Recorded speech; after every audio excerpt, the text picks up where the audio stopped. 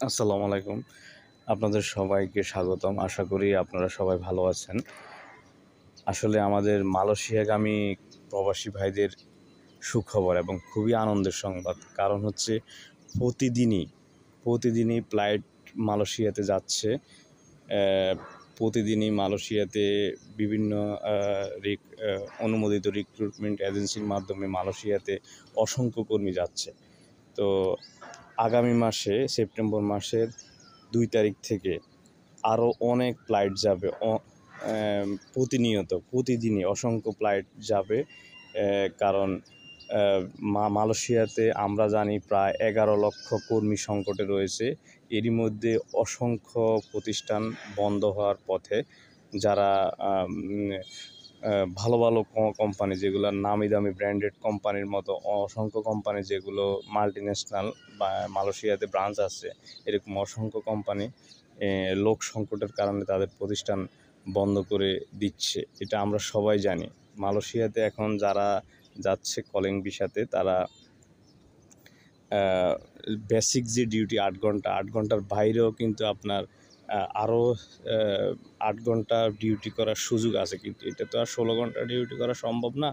সেক্ষেত্রে অন্তত তেরো, চোদ্দ ঘণ্টা তো ডিউটি করতে পারে এবং প্রচুর ওভারটাইম রয়েছে। কারণ মালয়েশিয়াতে কর্মী সংকটের কারণে প্রতিটি কোম্পানি এখন যাদের কর্মী রয়েছে বৈধ কর্মী, তাদেরকে দিয়ে ওভারটাইম করিয়ে নিচ্ছেন এবং অনেক আছে, অন্য কোম্পানিতেও কিছু সময় দিচ্ছে, যদি সুযোগ পাচ্ছে, যদিও সেটা নিয়মের মধ্যে পড়ে না, কিন্তু তারপরও অনেকেই এই সুযোগটা নিচ্ছে। কারণ মালয়েশিয়াতে এখন আমাদের টাকার মান অনুযায়ী বেসিক যে স্যালারি সেটা হচ্ছে পনেরোশো রিঙ্গিত। কিছু কিছু ক্ষেত্রে আরও বেশিও দিয়ে থাকে।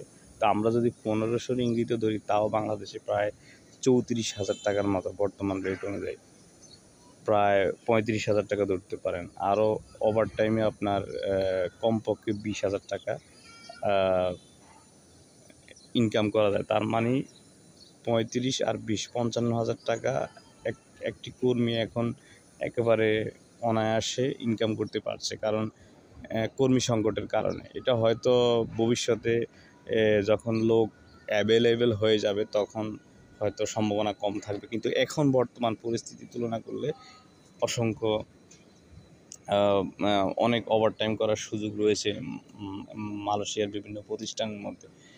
আর আমরা যতটুকু তথ্য উপাত্তর মাধ্যমে জানতে পেরেছি অসংখ্য অনেক মিডিয়াগুলো বা বিভিন্ন ফেসবুক পেজ থেকে আমরা সোশ্যাল মিডিয়াকে ব্যবহার করে অনেকে গুজব ছড়াচ্ছে, মালয়েশিয়া কলিং ভিসা বন্ধ হয়ে গেছে, দালাল সিন্ডিকেট আসছে আসলে এগুলো সব গুজব। আপনারা গুজবে কান দেবেন না, আপনারা প্রবাসী কল্যাণ মন্ত্রণালয় এবং পররাষ্ট্র মন্ত্রণালয় এবং প্রবাসী বিএমইটি যে পেজ আছে এগুলো দেখবেন এবং ওয়েবসাইটগুলো ফলো করবেন, তাহলে সব কিছু জানতে পারবেন।